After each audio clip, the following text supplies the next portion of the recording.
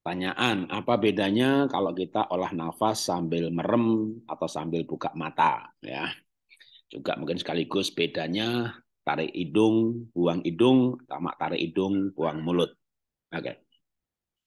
Olah nafas itu ada beberapa tujuan. Misalnya satu, memperbaiki metabolisme kayak Wim Hof. Tarik, buang, tarik, buang, tarik, buang. Itu buangnya lewat mulut. Wis gitu ya supaya CO2-nya buang habis, udaranya buang habis, tariknya kuat-kuat. Nah, nariknya tuh kuat ya.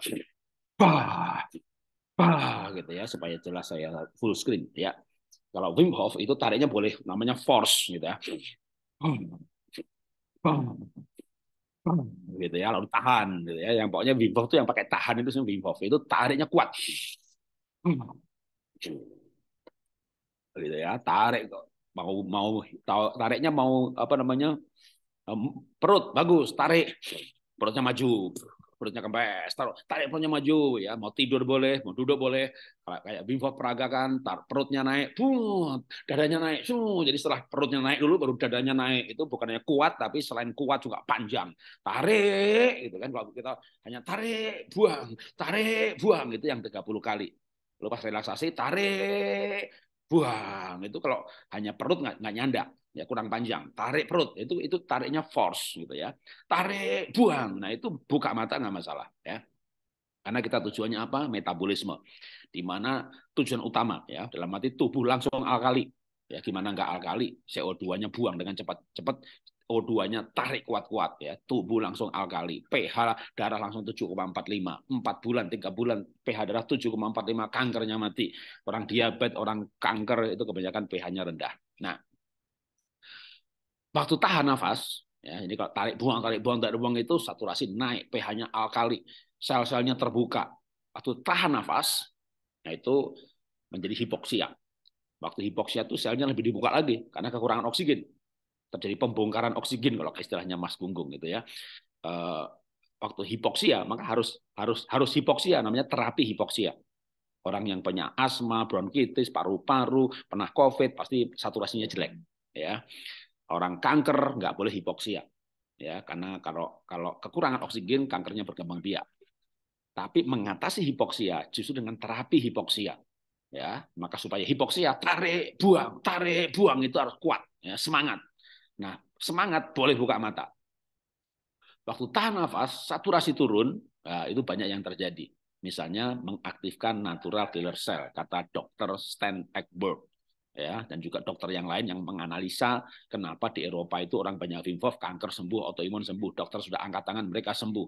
Bahkan nggak kemo nggak radiasi mereka sembuh itu kenapa? Natural killer cell itu aktif karena selama ini mogok. Karena mogok maka sel yang membelah error nggak dihancurkan. Nggak dihancurkan bertambah banyak ketika di PET scan ya ketahuan ada kanker ada minum ada kista ada tumor. Maka Wim ini untuk semua penyakit itu. Nah ini Anda boleh buka mata tarik hidung buang hidung ya tujuannya metabolisme tapi pada waktu tahan nafas, misalnya mau sekalian ada tujuan yang lain, maka tutup mata. Nah itu beda. ya Tutup mata itu termasuk kalau yang saya ajarkan, terutama modul 4 ke atas. ya Modul Wim Hof, modul 2 dan 3 itu Wim Hof, tarik, buang. gitu. Karena ada yang pusing waktu tahan nafas misalnya ya mengurangi pusing biar nggak geliang gitu kan geliang kan takut gitu ya nanti pingsan gimana buka mata pasti geliangnya berkurang tapi kalau anda mau tutup mata pas tahan nafas boleh aja. Mau tarik buang tarik. Buang tutup mata juga boleh. Tapi terutama yang saya sarankan tutup mata itu modul 4 ke atas. Karena itu bukan hanya olah nafas. Kalau John Kabat ini bilang it's not about breathing. It's spiritual journey. Jadi ini perjalanan spiritual. Ini mengolah emosi. Ini mengolah rasa. Ini manajemen stres. Maka tidak boleh disambi sama sekali ya. Kalau Wim Hof satu misalnya gitu. Pak saya sambil nyapu boleh? Boleh. Sambil nyapu tarik buang tarik buang gitu ya. Sambil masak? Jangan. Nanti, nanti ketambahan bumbu. Tambah asin ya. Sambil nyapu? Tarik buang tarik buang 200 kali. Boleh ya. Tapi kalau modul 4 nggak bisa. Jangankan nyambi kerja. Nyambi mikir aja nggak boleh tutup mata, tangan terbuka, duduk bersila atau duduk di kursi, badan tegak atau tidur terlentang. Ya, itu yang modul inner healing, self image terapi, ketenangan batin. Jangankan sambil kerja, Sambil mikir aja nggak boleh. Anda istirahatkan pikiran, Anda istirahatkan perasaan, dengarkan hati nurani. Hati nurani nggak pernah bohong. Anda sudah lahir baru kalau dalam Kristen ya di hati nurani itu ada Roh Kudus. Anda dengar suara Tuhan. Atau kalau nggak dengar suara Tuhan, nggak usah cari dengar-dengar nanti jadi malah mikir gitu ya. Anda nikmati hadirat Tuhan. Oke, saya kasih gambar sebelum eh, menutup tanya jawab yang uh, pertanyaan ini. Uh, sebentar, bukan yang ini, yang PowerPoint ya. Saya share screen. Kenapa tutup mata? Kenapa buka mata? Ada yang buka mata, ada yang tutup mata. Yang buka mata itu kalau yang saya menganjurkan itu Wim Hof. Di mana kadang pusing. Ya. Lalu tutup mata. Kenapa? Olah nafas bukan sekedar olah nafas, terutama modul 4 ke atas. Itu adalah untuk manajemen stres. Nah, stres itu ketika gelombang otaknya itu di beta. Makin mikir, makin beta. Buka mata, makin beta. Padahal kesembuhan itu dimulai gelombang otak di alfa ke atas. Ya, Nah, Anda tutup mata dengan cepat gelombang alfa. Nah, apalagi sambil olah nafas, ya, mau Wim Hof, pas tahan nafas, gitu ya. Istilahnya John Kabat-Zinn, it's not about breathing, ini perjalanan spiritual. Jadi dengan olah nafas itu kita bisa bawa gelombang otak itu ke arah gelombang energi kesembuhan, yaitu alfa minimal. Ya, banyak orang itu kalau di, diukur pakai EEG, gelombang otaknya beta terus. Ini yang merah ini namanya energi kematian. Tidak ada regenerasi sel, nggak ada kesembuhan. Ya, makanya orang sakit pun secara perasaan gimana kalau secara perasaan ini berkali-kali saya jelasin ini ada di berbagai file YouTube kalau dengar video yang ada di WA grup di pos ya. Energi ini ya, gelombang otak ini nggak usah pakai olah nafas pun juga akan bergerak beta, alfa atau theta tergantung perasaan Anda. Itulah kenapa dalam modul pola hidup sehat itu ada olah nafas, ada olah rasa. Dan teman-teman yang sakit harus meninggalkan rasa malu, rasa bersalah, apatis, eh, ketakutan. Ini energi kematian. Tidak ada kesembuhan di sini.